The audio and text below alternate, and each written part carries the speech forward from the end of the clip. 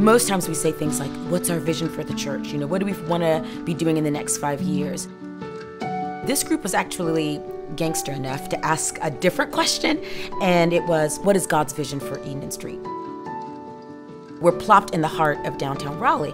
And so we thought, okay, the folks we don't see walking up and down these hallways are the folks who actually walk up and down our streets. We wanted to create alternative worship spaces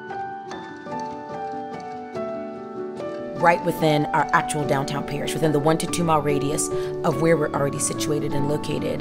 We called ourselves tables. Table was the way in which we kind of worked out our theology.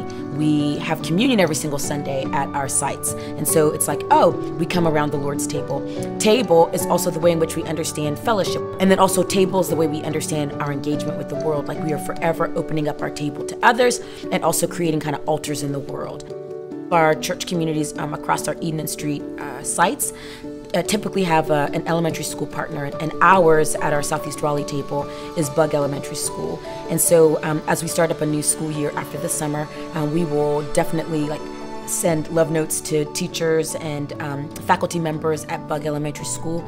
Um, this past Christmas season, we did an angel tree. I think that's a part of our Wesleyan DNA to see ourselves as being peers driven, like to love up on the schools that we really are truly within our one to two mile radius and that we have um, connections with just I guess a month ago when teachers chose to show their holy resistance and we knew that a lot of elementary schools were not going to be open that day and we decided that we would try to help out with their backpack buddies so that kids who might not um, have a meal that day could could have access to a meal.